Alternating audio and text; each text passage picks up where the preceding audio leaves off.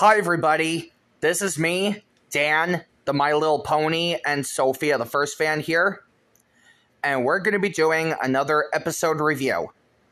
So, for today's episode review, we're going to be reviewing season 1, episode 12 of Blue's Clues, which is called Blue Wants to Play a Game. Now, it all started when Steve and Blue were playing hide and seek. But Blue didn't want to play hide and seek again. So, Blue tries to show Steve what game she wants to play by giving him some clues. Anyways, we help Shovel and Pail sort out a puzzle,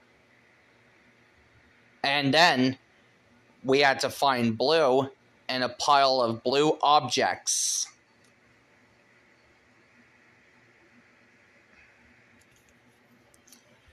And then we skidooed into the game board to find the house where the gingerbread boy lives. So, the directions is kind of like a song.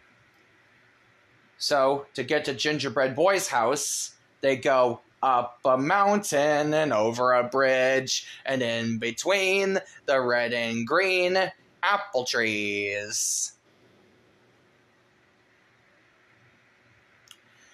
So, anyways, speaking of the clues, the three blues clues in the episode are a duck, a duck, and a goose.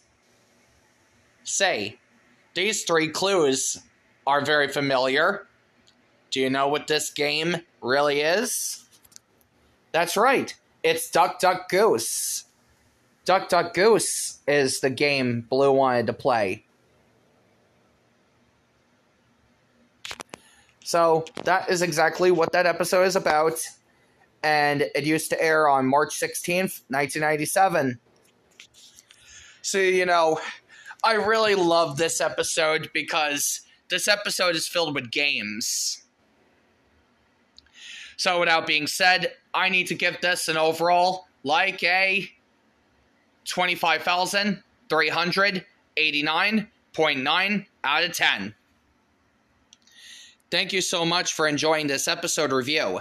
Feel free to like, comment, subscribe, turn the notification bells on if you want to see more. See ya.